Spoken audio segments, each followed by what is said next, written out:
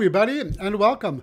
My name is Roger, and this is your daily tarot map for Sunday, November 27th, 2016, using tarot to create the life you want. First off, I want to welcome, uh, welcome everybody, especially if you're new around here. Uh, it's always nice to see new people here. And I also want to thank everybody for liking these videos, uh, for sharing them, uh, for subscribing to this channel. I really appreciate all of your support. So today we conclude our work with the World Spirit Tarot as tomorrow is Monday, and that means we'll be working for a new with a new deck for the coming week. So be sure to tune in tomorrow to see what that will be. So on to today's draw using the World Spirit Tarot. The three cards drawn randomly from the deck today were the Four of Pentacles, the Five of Pentacles, and the Nine of Swords. So it looks like we have some repeats today. The Five of Pentacles and the Nine of Swords both make a reappearance. Boy, these cards have really been stalking us lately. So the first card in our draw is the Four of Pentacles, and uh, this is actually the strongest card in the spread because it's being pumped up by that uh, other Pentacles card next to it. So here we see a community uh, where everybody is working together for the common good. You know, this card can be about the desire to establish a base, uh, to create security in our lives. However, there is one person who may be taking it a bit too far. So here we see a figure and I can't tell whether it's a man or woman holding tightly to to uh, his possessions, uh, holding tightly to what he thinks is his. Now, there's not anything wrong with trying to establish a nest egg for oneself, and indeed we should. But our material possessions should not become our main focus. You know, I know a fellow who owns an expensive car, like really expensive, but he doesn't take it anywhere because he's terrified that it will get dinged or scratched in the parking lot. Other people own expensive jewelry but never wear it out, afraid that somebody's going to steal it. So, in such cases as this, our possessions end up owning us. You know, our gifts are meant to be shared and not hoarded.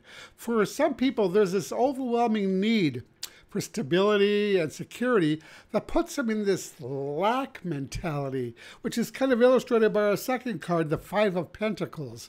Now, we've seen this card before.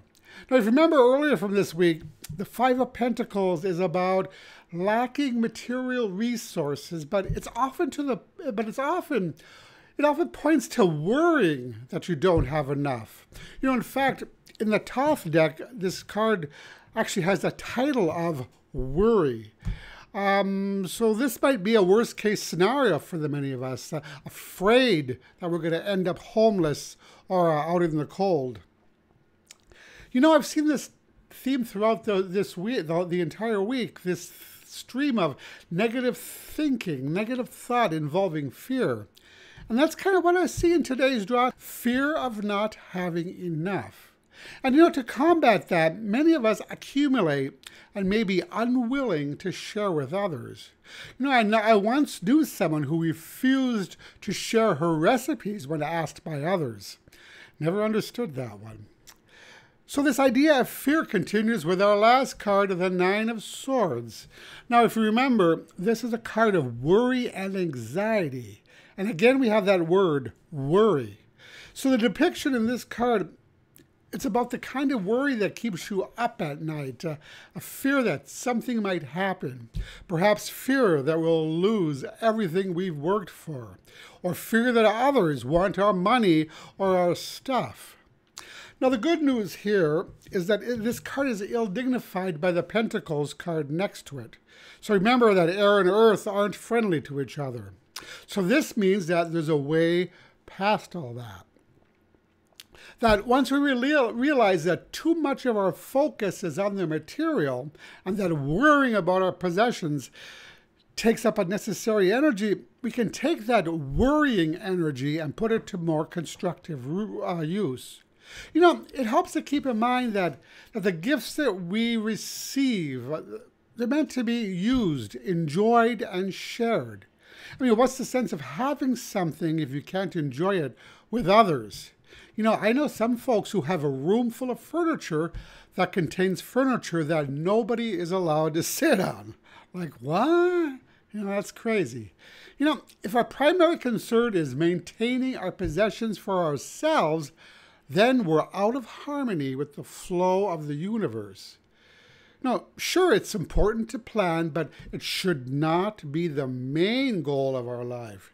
You know, the more we, the more we accumulate, the more we end up worrying about it, worrying that we're going to lose it.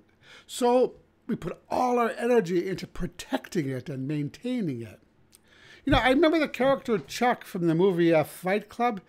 He said something to the effect of, the things that you own end up owning you. So it's only after you lose everything that you're free to do anything.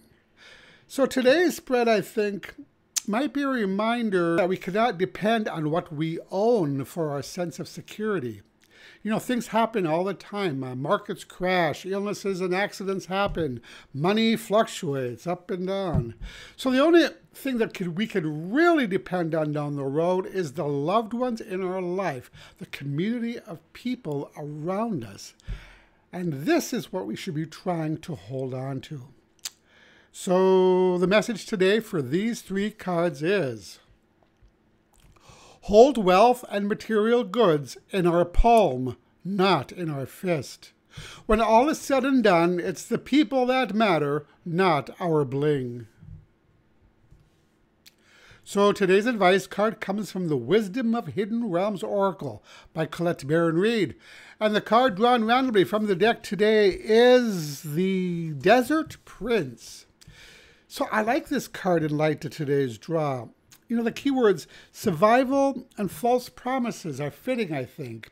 While it certainly is important to be able to provide for ourselves and our families financially, as well as to prepare for a future, you know, we need to be wary of the false promises that us consumer society has made to us.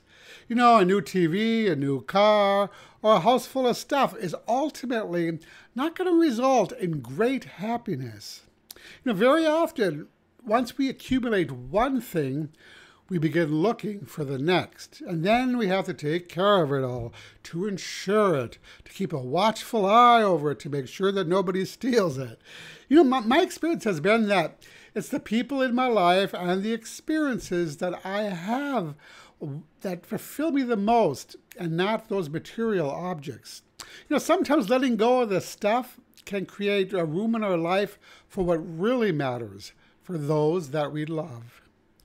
And uh, that's your daily tarot map for today. Uh, if you like this video, I'd really appreciate it if you click the like button. And uh, visit my website at tarot-dude.com where you'll find all of my contact information. And that's it for today. Thank you so much for watching, and I'll talk to you again tomorrow. Brightest blessings.